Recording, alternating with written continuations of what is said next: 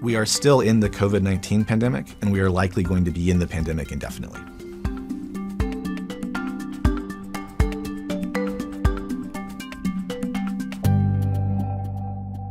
So, I'm Lee Hampton. I'm a senior specialist on the Gavi vaccine programs team, but in reality, I'm a medical epidemiologist and pediatrician who's very focused on disease surveillance, vaccine safety, and diagnostic testing to make sure that our vaccine safety support programs work as safely and effectively as possible.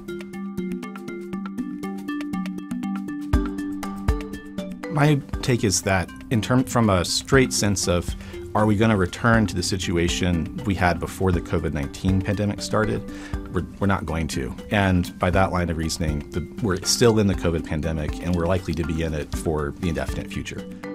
There's a lot of diseases that we've been living with for thousands of years, and it's not a pleasant experience, but we do it. Um, so, tuberculosis, measles um, are great examples. I, so I think that we're similar situation with COVID where we don't really have much of a choice, but we do have it within our power to try to make it easier to live with COVID and to try to minimize the damage that it causes. And that's part of the reason why continued efforts to use measures we know are effective in preventing or mitigating the harm from COVID, like vaccines, is so important.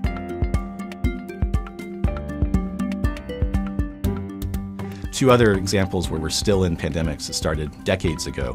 We've actually been in the current cholera pandemic since the 1960s.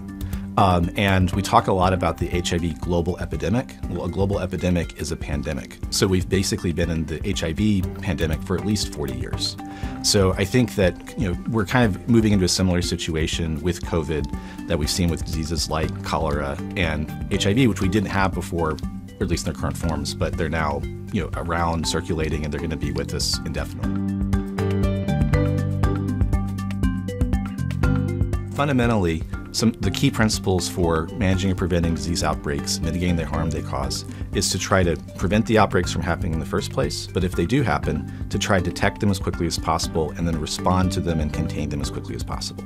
So your success with each of those measures determines what you're going to do with the subsequent stages. So for example, for some epidemic prone diseases like measles, we actually have very, very good preventive tools already in place. So the best way to prevent measles outbreaks is to just vaccinate everybody and give them immunity so that you can't have measles outbreaks. The best way to manage the, the COVID 19 pandemic going forward, from my perspective, would be to try to make sure that we can do regular immunization, um, including for adults. Uh, with uh, annual updates if necessary or frequent updates to the vaccine. So, in an absolute best case scenario, if we could take the kind of immunization programs we have against seasonal influenza in high income countries and set up something similar globally where we're vaccinating against both influenza and COVID 19 on a regular basis, and then we change the vaccines as necessary as the viruses change, that would be great. At the same time, we also know that other measures um, against COVID 19, other respiratory viruses, make a big difference. One of the big learning points for a lot of countries when dealing with COVID 19 has been how effective face masks can be in preventing the spread of respiratory diseases. So, in the first winter after the COVID 19 pandemic started, measures like masks were used so widely that in the United States, we didn't have a flu season that year. That's never happened before. So if people could, you know, incorporate use things like uh, face masks and other non-pharmaceutical interventions, at least partially, into their daily routines, at least part of the year when at their highest risk for respiratory diseases, that would be great.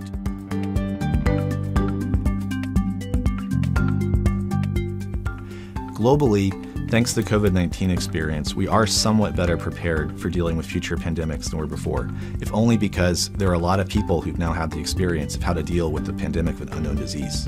However, I think it's going to be critical in our efforts going forward that we don't just plan on trying to fight the last pandemic that the next pandemic will be different from the COVID 19 pandemic.